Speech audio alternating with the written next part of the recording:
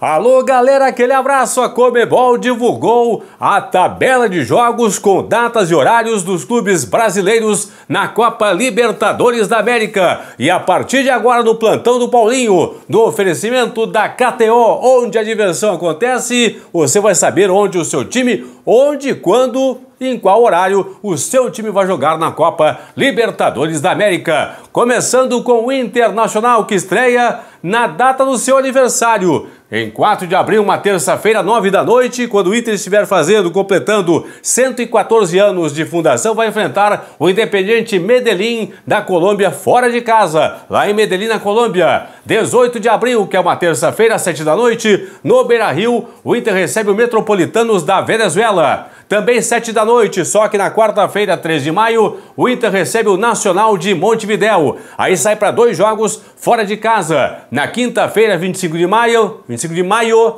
9 da noite, enfrenta o Metropolitanos em Caracas, na Venezuela. 7 de junho, quarta-feira, 7 da noite, joga em Montevidéu contra o Nacional no Parque Central. E na última rodada da fase classificatória, na quarta-feira, 28 de junho, 7 da noite, o Inter recebe no Beira Rio o Independiente Medellín da Colômbia. É a sequência de jogos do Inter na fase de grupos da Copa Libertadores da América. Vamos à tabela do Flamengo. Olha, o Flamengo é o atual campeão da América, que estreia na quarta-feira, 5 de abril, 7 da noite, fora de casa do Equador contra o Alcas. Depois o Flamengo vem ao Brasil para jogar contra o Ñublense do Chile no dia 19 de abril, que é uma quarta-feira, nove e meia da noite, no Maracanã. Sai para dois jogos fora de casa o Flamengo. Em 4 de maio, que é uma quinta-feira, sete da noite, enfrenta na Argentina o Racing, em Avejaneda. 24 de maio também, uma, aí uma quarta-feira no caso, nove e meia da noite,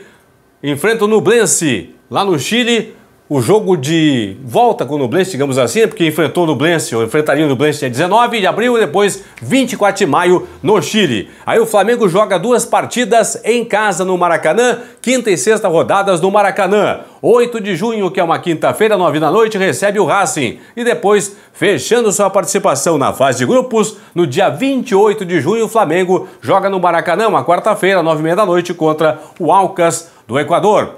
Trocar a tela, agora o Fluminense. Aliás, o Fluminense é o Palmeiras, daqui a pouco o Fluminense. O Palmeiras, o Palmeiras, o Palmeiras, que estreia dia 5 de abril, uma quarta-feira, nove e meia da noite, fora de casa, em La Paz, contra o Bolívar, na Bolívia.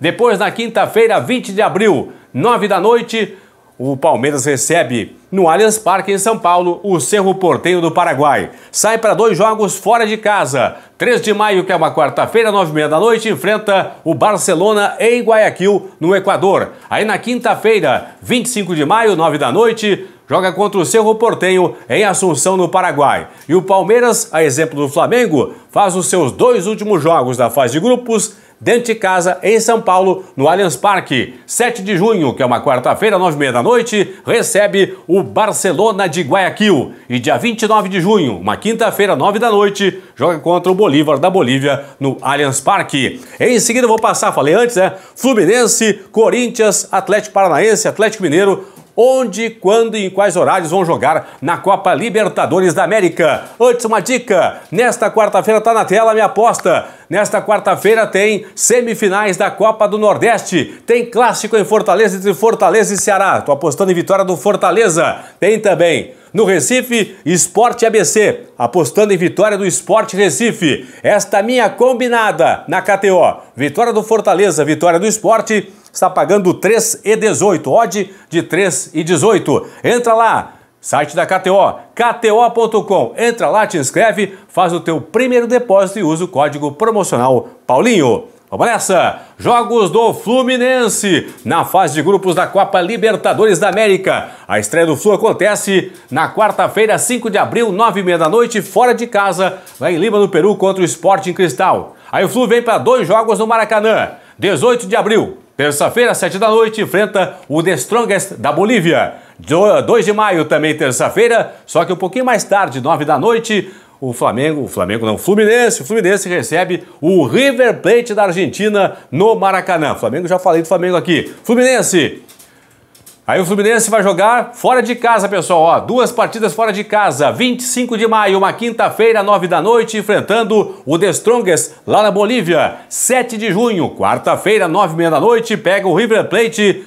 no Monumental de Nunes, em Buenos Aires. Aí o Fluminense volta para o Maracanã para a última rodada, na terça-feira, 27 de junho, enfrentar às 9 da noite o Sporting Cristal do Peru é a sequência de jogos do Fluminense. Vamos à tabela do Corinthians. Vamos lá que estreia na quinta-feira, 6 de abril, 7 da noite, no Uruguai contra o Liverpool. Depois o Coringão joga duas partidas em casa.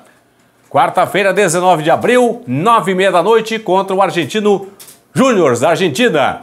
Na terça, 2 de maio, 9 da noite, pouquinho mais cedo, enfrenta o Del Valle, Independente Del Valle, atual campeão da Recopa da Copa Sul-Americana e também da Recopa Sul-Americana, bateu agora, em 2023, o Flamengo. Venceu o Flamengo, o Del Valle aí, conquistando o título da Recopa.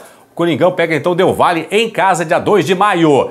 Depois o Coringão vai jogar duas partidas fora de casa. 24 de maio, quarta-feira, 9h30 da noite, enfrenta o Argentino Júnior na Argentina. Quinta-feira, 8 de junho, 7 da noite, joga contra o Del Valle no Equador e aí volta para a última rodada jogar em casa 28 de junho, quarta-feira, 9h30 da noite, contra o Liverpool do Uruguai. É a tabela do Corinthians. Vamos agora aos Atléticos. O Paranaense, o Mineiro, que estão no mesmo grupo, começando com o Furacão, que estreia na terça-feira, 4 de abril, 7 da noite, em Lima, no Peru, contra o Aliança Lima. Depois, dia 18 de abril, que é uma terça-feira, 9 da noite, tem duelo brasileiro pela Copa Libertadores da América. Em Curitiba, o Furacão o Atlético Paranaense recebe o Atlético Mineiro. 4 de maio, o Furacão joga fora de casa, uma quinta-feira, 9 da noite, contra o Libertar lá no Paraguai.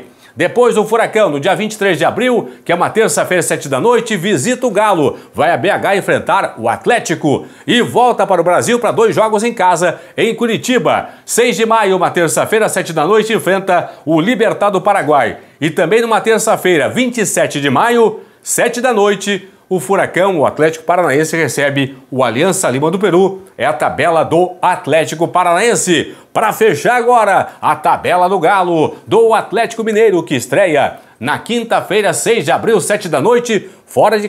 Fora de casa não, em casa. O Galo é o único brasileiro que joga em casa na primeira rodada, 6 de abril, quinta-feira, portanto, Atlético Mineiro Libertad do Paraguai em BH. Aí o Galo vai jogar em Curitiba, dia 18 de abril, uma terça-feira, às 9 da noite contra o Furacão. 3 de maio, quarta-feira, 9 e meia da noite, o Galo vai jogar em casa, em BH contra o Aliança Lima do Peru. Também em casa, 23 de abril, uma terça-feira, 7 da noite, recebe o Furacão, o Atlético Paranaense.